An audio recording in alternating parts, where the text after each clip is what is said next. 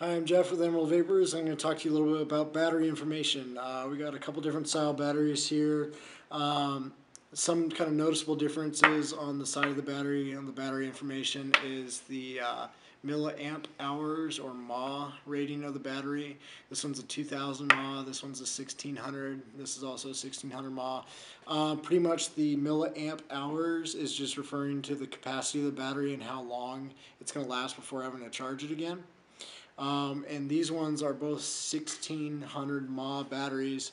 And the cool thing about these ones though is they're a little bit less capacity. However, they're 30 amp batteries and pretty much the, the amperage that you're getting out of the higher amperage, the lower resistance you can go with them. Um, typically with um, the 10 amp or a lower amperage, um, you're not going to want to go um, sub ohm with the battery.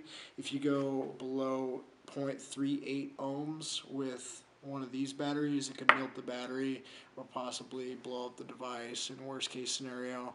Um, so you definitely don't want to do that. With these ones, you can go down to about 0.14 with it still being safe, but if you go anything below that, it's definitely pushing the uh, the boundaries of safety. Um, so that's just important to keep in mind. There's also some some 60 pulse batteries um, out there, and there's a couple different um, styles of batteries. These are a uh, 18650 battery. There's also 18350 batteries that are a little bit shorter. Um, these ones are button top, and these ones are both flat top.